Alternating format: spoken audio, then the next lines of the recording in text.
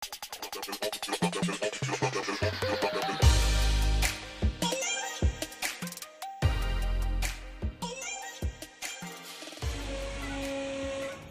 afternoon guys, bali ito share ko lang yung na-encounter kong problem uh, nung nakaraang gabi. Bali bigla kasing nawala yung headlight natin. So ito yung mga chinek natin.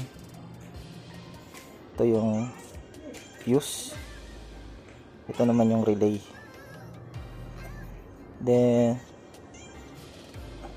yan bali nung unang pagtingin ko pa lang nung tinanggal ko yung fuse niya ito.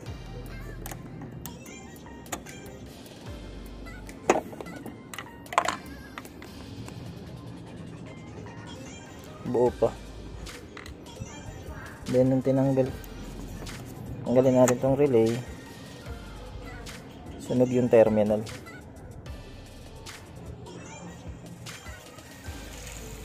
So ngayon try nating i-check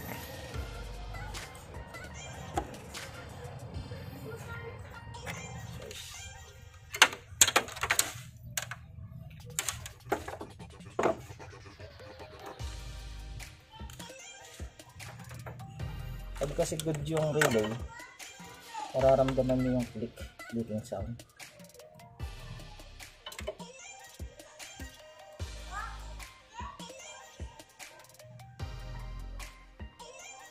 Ito. Walang click. Ito yung binili ko uh, genuine parts denso. Try natin ayan.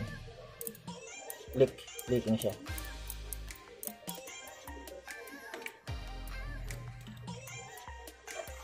Bali ang pwedeng mag-cause nun kung bakit to nasusunog is pwedeng lumuwag yung mga terminal.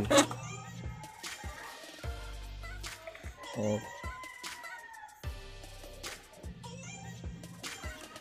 pwede natin to sikipan sakat sa gamitin natin tong tip ng long nose para sumikip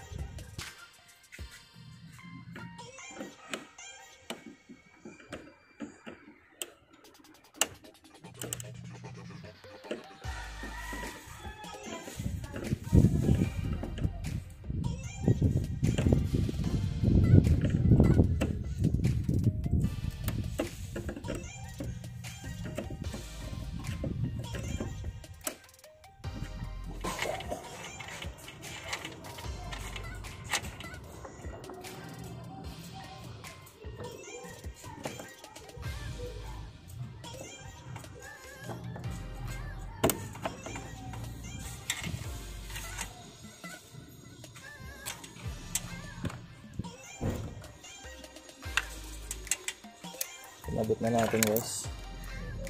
So, try natin yan yung ilaw.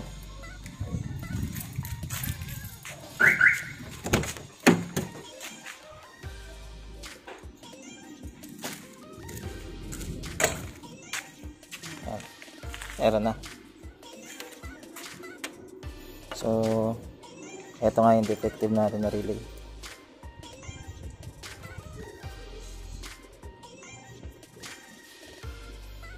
Sa mga naka-encounter same case. Try nyo na lang din ganong i-check nyo. So check nyo muna yung fuse. Then check nyo yung relay kung physically kung may damage sira. Then pwede nyo nga siyang itap dun sa 12 volts. Titingnan nyo kung click, clicking siya.